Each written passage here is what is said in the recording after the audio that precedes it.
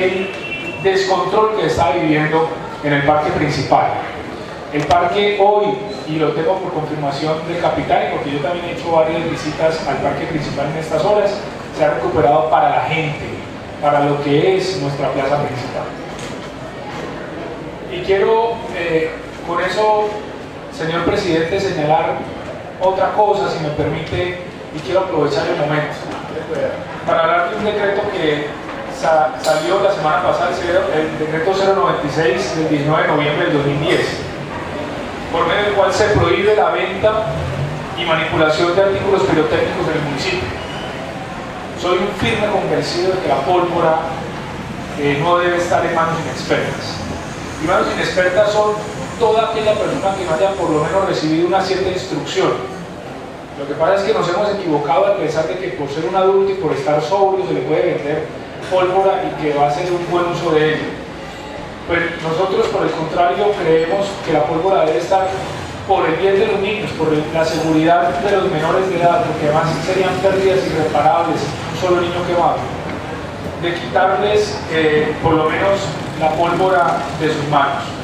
Y para eso entonces este decreto lo que nos permite, que ya está, está siendo comunicado a todas las entidades eh, pertinentes, es quitar de circulación en, la mayor medida posible la pólvora. Por eso se está prohibiendo la venta y manipulación. Ya ustedes este año no van a ver sitios donde se esté vendiendo pólvora de ninguna clase.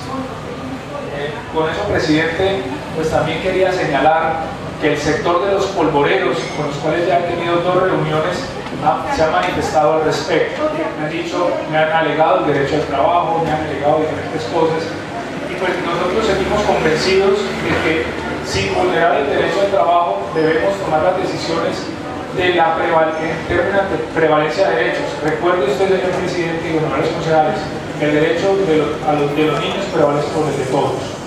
Y por eso esta decisión eh, que hace rato, por lo menos yo no tengo conocimiento que se haya tomado en nuestro municipio, pues tiende a favorecer ese, eso, es el derecho de los niños a tener una sana Navidad y a estar alejados del riesgo mayor que implica la quema de pólvora indiscriminada.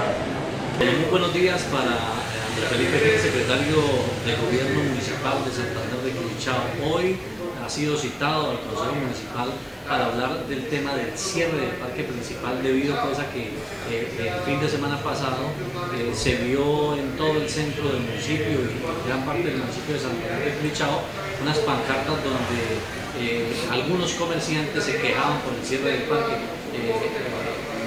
Andrés Felipe, bienvenido al magazine bueno, muy buenos días para todos. Muchísimas gracias por la invitación. Realmente lo que hemos nosotros propuesto con el cierre del vehicular del parque principal es recuperar el parque para la gente. Ese ha sido nuestro propósito desde hace más o menos tres meses que venimos adelantando esta campaña, donde hemos encontrado voces eh, de aliento y gente que ha estado muy contenta y que le ha gustado mucho eh, la medida, sobre todo familias que han vuelto, que han podido volver al parque principal a disfrutar los fines de semana, sobre todo cuando antes de la medida lo que estamos viendo era que se llenaba de vehículos que ponían música a todo volumen en sus equipos de sonido, gente bebiendo en el parque y que le daba un uso al parque que no es el apropiado desde, el punto de vista de lo que el parque debe ser para los quilchagüeños, un punto de encuentro familiar, un punto de cohesión social, un punto de encuentro para todos.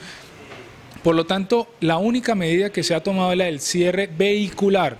Ahora, lo que hemos favorecido con este cierre vehicular es la peatonalización del parque. Casi que lo que nosotros aspiramos es que haya una mayor movilidad, pero de personas y no de vehículos alrededor del parque y que puedan disfrutar de él de una manera más apropiada y una mejor manera. El parque es para todos, no para el que tiene vehículo. Lo que nos, hemos es, eh, hemos desdibujado la idea de nuestro parque principal como un punto de encuentro, un punto de encuentro social de todas las clases sociales y de todos los grupos eh, del municipio. Y lo que se convirtió fue que era el parque para los del carro y eso es lo que varias personas no han entendido y están en ese propósito de protestar por ello. Hemos visto los buenos resultados a los que hemos llegado con, esta medida, por lo tanto... Eh, con los resultados obtenidos y con, las, y con los, el buen control que está llevando el parque, vamos a continuar con la medida.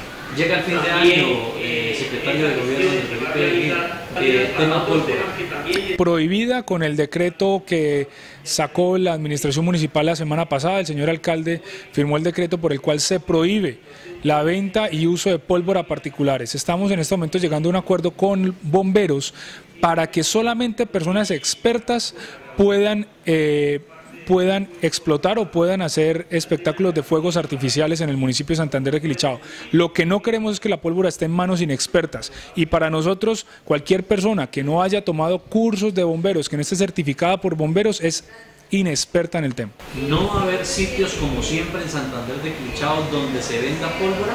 No, totalmente prohibido. El decreto prohíbe la venta y manipulación y uso de la pólvora, con lo cual lo que queremos es favorecer el derecho de los niños y niñas de nuestro municipio a tener un ambiente sano, a no correr ningún tipo de riesgo, porque un solo niño quemado es una pérdida irreversible para nuestra sociedad.